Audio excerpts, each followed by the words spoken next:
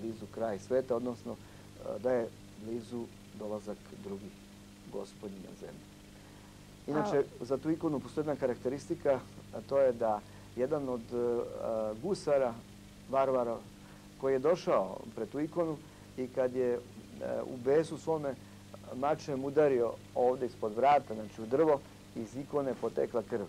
On je tad bacio, niči se se pred nju, traži oproštaj i ostao do kraja u životu da živi kao monak. A prekinula se vas kod priče za Vasilija Ostroškog, svetog Vasilija Ostroškog? Da, kažem, e, svetelji koji su eto kod nas netruležni, e, sveti Arsenije, ovaj, e, stremac koji se nalazi inače u Ždrebaoniku, sveti Stefan ovaj, Piperski, eto naš sveti Lazar, velikom učeniku u ovaj, Ravanici. Mnogo ima svetaca netruležnih, ali kažem, njihova pojava postojanje je samo dokaz sile Božije koja u njima postoji i održava ih da budu u takvom stanju. To prevazilazi sve fizičke zakone koje su naučno utvrđene. Ja bih zamolila režiju ponovo da se vratimo na snimke. Evo snimke. Da, ovo su sad mm, snimci eto, raznih tih e, čudesnih pojava, na primjer, u onim flašama su bogojavljenska voda, onda e, sveta voda iz počajeva, znači sa, sa izvora lekoviti, čudesnih izvora, onda razne ovaj, e, krpe, tkanine kojima su bili premazivani svetitelji i, na primjer, ovaj pobožni hrišćanin to sve drži zajedno sa svojim ikonama i sve mu to služi kao jedan posticaj da bi bio u srdniji, u molitvi, u razgovoru sa Bogom. Jer ako hoće neko da se uveri da Bog postoji, neka se moli. I uverit će se. Da, uverit će se. Sam gospod Isus Hristos je rekao, ko hoće da tvori ovo moje učenje, uverit će se da je ono od Boga. Znači, ako ko hoće. Nama je dato sloboda da biramo hoćemo li ići sa Bogom ili protiv njega. Tu nam je sva sloboda. Ali znamo da psalmopovac David kaže Gospod zna put pravednika, a put grešnika propušće. A vidjet ćemo upravo i tu ikonu u nešto kasnije vreme obiranja dva puta da, da se ide da. putem gospodnjim ili... Da, postoje kroz život uh, uski put koji vodi u carstvo nebesko. I kaže, podrednici ga zadobiju. To su oni koji su život na zemlji shvatili ne kao šalu, ne kao lakrdiju, ne kao jedan ozbiljno vreme koje im je dato ovdje na zemlji da provedu, ali da bi ga proveli kako valja, treba da se trude, da spoznaju Boži zakon i da žive po njemu. Da u njihovom životu bude normalan sadržaj posta, molitve, liturgijski način života, ispovesti, pričešćivanja. Jednostavno, obraćanje na ono što je najvažnije životu, a to je kakav je naš život u odnosu na Boga, na Boži zakon. Jer zato ću nam se suditi. Svako može, znate, da, da smatra da je ovdje na život na zemlji prolazan, ali e, kad tad uveri se da je on beskonačan.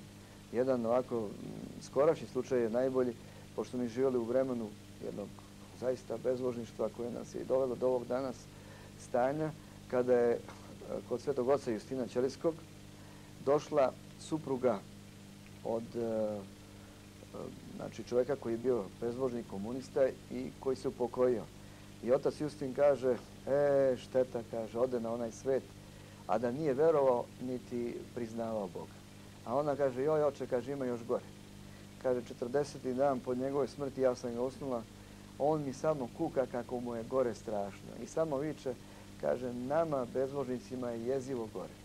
Mi smo izloženi takvim mukama da one se ne mogu opisati. A ona ga pita šta je bilo sa našom čerkom Vericom, koji su znači, izgubili dok su bili zajedno u braku. Ne, kaže, nama bezbožnicima nije dato da vidimo svoju decu na ovom svijetu. A tome, ovaj, kažem, čovjek može da nešto odriče, da odbacuje, ali kad tad istina o stvarnosti postojanog sveta će se pokazati.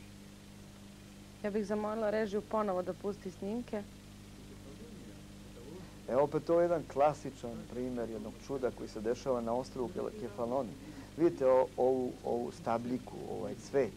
On je, inače, unosi se u hram Boži, to je inače ljiljan. On se unosi na dan a, blagovesti, znači 7 aprila.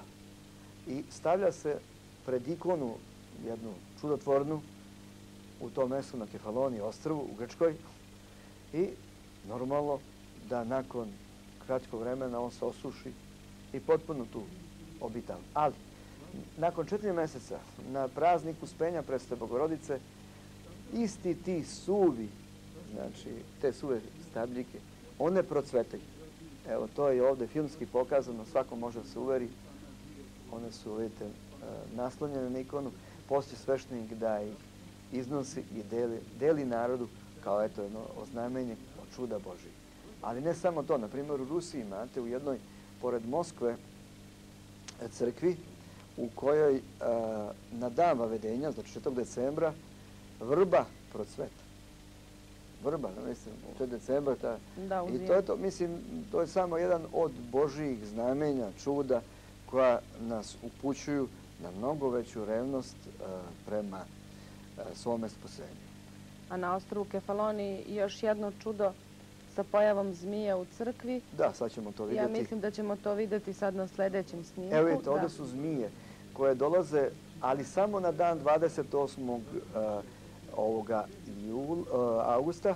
To su sve otrovnice, to su poskoci. One dolaze pred ikonu i tu se klanjaju. Vidite, ljudi ih maze. Niko se tad ne plaši. Onaj prirodni strah prema zmiji tada apsolutno nestaje. Samo, kažem, tog dana one silaze iz raznih delova šuma i ulaze u crku i tu se klanjaju ovaj, majci Božije njenoj ikoni. Čak ima, ovaj, ja vidite, ovaj je čak drži na ruci svoje. A, jedan e, skorašnji ovaj, događaj kada je episkop nadležni vršio službu i zmija mu se popila na žezam. I sve vreme ona je stajala gledajući, prateći a, liturgiju. I kada sveštenik kaže mir svima, glave svoje priklonite gospodu, zmija prikloni glavu prema gospodu. A eto, čovjek, vidite, on se čovjeku Bogu protivi, on neće da se pokori pred silom Božijom, to jednostavno, on misli da je jači, što je ludilo, nema drugo objašnjenje. I jedan je opet interesantan događaj kada je u pitanju zmija, pazite. Ima jedan divan starac, e, ovaj, sad on je upokojen, skoro starac Pajsije, koji je imao svoju keliju na Kareji, to je lično pričao mitropolitan Filohij Crnogorski, kaže da je to jedan svet čovek. I jedno od, od čuda koje se desilo eto, u njegovoj, kažem, keli, on ima, na primjer, uh, jednu ovaj, žabu koja krekeće kad on polazi na službu. Znači uvijek u šest sati ona krekeće, on ništa njoj ne kaže. Nego tad, eto, ovaj, o, o, prosto uh, objavljuje početak službe. Ili još nešto što je zaista, eh, da kažem, da se čovjek skameni, kao što se desilo. Naime, eh, jedan Grk koji je čuo za starca tog Pajsija, jedan čuveni advokat, je otišao onako gordo, šta taj starac zna, nemam pojma. I teo da ga vidi, da ga upozna. I starac, pošto je bio Bogom nadaren, prozorljiv, kaže, obraća se tom Grku. Nebesa kazuju slavu Božju.